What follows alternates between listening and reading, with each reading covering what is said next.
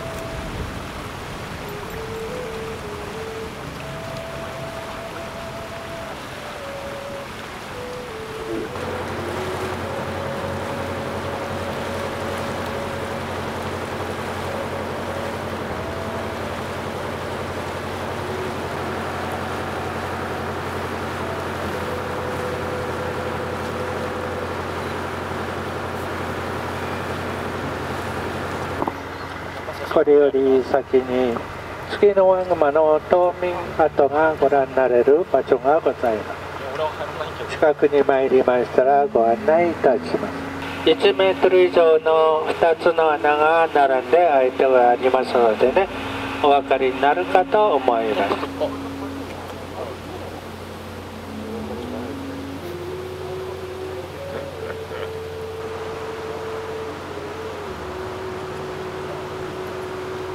I'll,